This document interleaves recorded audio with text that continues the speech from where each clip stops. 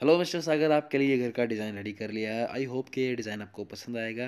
जैसा कि आपको पता है कि आपके लिए हमने घर का डिज़ाइन तैयार किया है। इसका टू मॉडल जो हम आपको शेयर कर चुके हैं, जो कि नक्शा जो था इसका फ़र्स्ट फ्लोर ग्राउंड फ्लोर और फ़र्स्ट फ्लोर का जो डिज़ाइन है, जो फ्रंट एलिवेशन के साथ है, वो मैं आपको वीडियो के साथ शेयर करने वाला हूँ। इसकी प्रॉपर जानकारी मैं आपको दूँगा। डिटेल से, शुरू से लेकर आज तक वीडियो देखिएगा।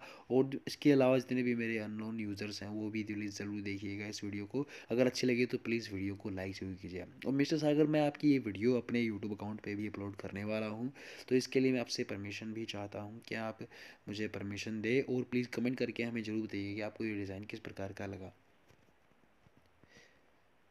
तो इस प्लॉट का जो साइज़ है नौ फीट सात इंच चौड़ा है और इसकी जो लंबाई है वो है अस्सी फीट तो इस वजह से शुरू का हिस्सा जो है मिस्टर सागर जी का वो बना हुआ था, जिसमें से तीन बेडरूम वगैरह शुरू में ही थे। तो वो हिस्सा बनाने के बाद पश्चात हमने इसको मॉडिफाई किया है। तो जो उनका ऑलरेडी बना हुआ है, वो तो बना हुआ ही है, लेकिन उसके अलावा किस तरीके से इसको और भी ज़्यादा अट्रैक्टिव बना सकते हैं, उस तरीके से हमने तैयार किया है। तो वीडियो को पीछे से मैं आपको बताना शुरू करता हूँ डिटेल में जानकारी, आपको अच्छे से समझ में आ जाएगी। फर्निशिंग का क्या ज़्यादा काम नहीं किया है हमने, फर्नीचर वगैरह ज़्यादा ऐड नहीं किए हैं। एक चीज़ मैं बताना चाहता हूँ, सारी दीवारें पीछे की चार इंच में रहने वाली है। पीछे की जो वॉल है, ये सिर्फ़ नौ इंच में है। दोनों साइड की दीवार चार इंच में रहेगी। जिसमें आपको पीछे की साइड में मिलता है आठ फुट दस इंच की चौड़ी जगह, क्योंकि नौ फीट सात इंच चौड़ा ये प्लॉट है।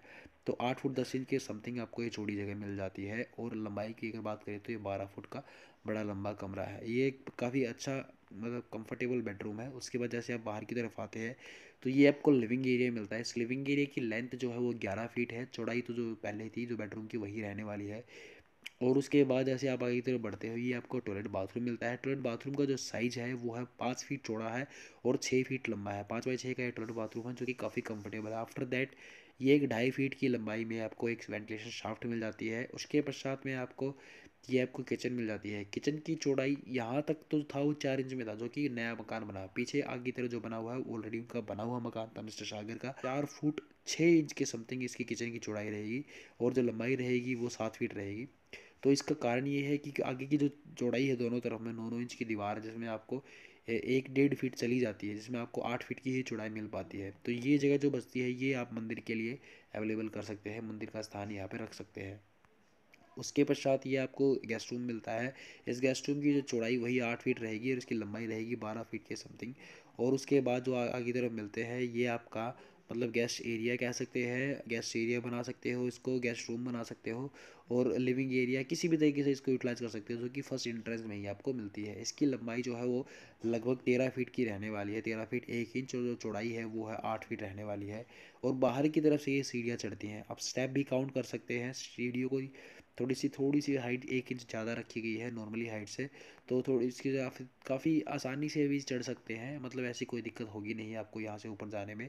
तो ये इसका फ्रंट है, बढ़ते इसके ऊपर के फ्लोर के ऊपर, जिसमें आपको थ्री डी एलिवेशन भी दिखाई देगा। ग्राउंड फ्लोर की वजह से फ़र्स्ट फ्लोर पे आते हैं तो फ़र्स्ट फ्लोर में ज़्यादा चेंजेस नहीं किए गए हैं। ग्राउंड फ्लोर को ही फॉलो किया गया है, लेकिन एक मोटा मोटा चेंज ये है कि जितने भी आपने पिलर हमने दिखाई दिए हैं कॉर्नर पे, जब दिखाई दे रहे होंगे तो इन पिलर को सारा वेट इतनी के ऊपर ही आ जाएगा और जितनी भी दीवारें सारी की सारी चार इंच में ली गई है। जैसे कि पीछे से आपको दिखाना शुरू करता हूँ, पीछे की तरफ़ सेम एज चीज़ वही बेडरूम ग्राउंड फ्लोर के जैसा, वही लिविंग एरिया और वही किचन वही टॉयलेट बाथरूम और वही ओ टी साफ्ट उसके बाद जो आगे की तरफ़ की जो चौड़ाई है, वो काफ़ी थोड़ी ज़्यादा मिल जाती है। लेकिन ग्राउंड फ्लोर पर आठ फीट थी जो कि आप ऊपर के फ्लोर पर आने पर आठ साढ़े आठ फीट मिल जाती है और ये आठ फीट दस इंच मिल जाती है। और बाकी साइज़ वही रहने वाला है। ये लिविंग एरिया है मतलब इसको लिविंग एरिया भी रख सकते हो, आपको बेडरूम भी बना सकते हो गेस्ट रूम भी बना सकते हो पर्सनल बेडरूम भी रख सकते हो। और लिविंग एरिया अगर रखना है तो इस पोर्शन को भी आप लिविंग एरिया के तौर पर रख सकते हो। आपने देख रहे हो कि नीचे से सीढ़ियाँ जो आती है, वो ऊपर आने के पश्चात कॉमन हो जाती है। तो इसमें से जैसे ही ऊपर की तरफ़ जाएँगी, यहाँ पर आपकी पार्टीशन की वॉल लगा सकते हैं ग्लास वॉल भी ला सकते हैं या फिर आप पीवीसी सीट से भी इसको पार्टीशन कर सकते हैं। वो डिपेंड करता है कि आप इसको किस तरीके से पार्टीशन करना चाहते हैं। तो ओवरऑल ग्राउंड फ्लोर के जैसा ही फ़र्स्ट फ्लोर रहने वाला है, लेकिन इसका फ्रंट एलिवेशन का डिज़ाइन जो है वो थोड़ा सा अट्रैक्टिव दिखाई देने लग जाएगा, जैसे आप ऊपर की तरफ़ बढ़ते हो। एक बार इसका फाइनल भी दिखाता हूँ, आपको अच्छे खासे तरीके से समझ में आ जाएगा। तो दोस्तों, ये है इसका फाइनल व्यू तो सागर जी, आप हमें कमेंट करके ज़रूर बताइए, अगर आपको ये फाइनल व्यू किस तरह का लगा। ऊपर की तरफ़ में स्टेयर ऊपर नहीं जाती हैं सीढ़ी सीढ़ियाँ यहाँ तक आती है और उसके बाद ख़त्म हो जाती है। पीछे का पोर्शन में आपको पूरी छत मिलती है। खुली आप इसकी बाउंड्री बनाकर को अच्छे तरीके से आप बैठने का एरिया बना सकते हैं। मतलब खुली छत ही रहेगी। दो फ्लोर का ये मकान है और बाकी फ्रंट एलिवेशन इसका तीन फ्लोर तक का रह जाता है, जो कि काफ़ी अट्रैक्टिव दिखाई देता है। ऊपर की तरफ़ में छत बंद हो जाएगी, काफ़ी अट्रैक्टिव डिज़ाइन बनेगा।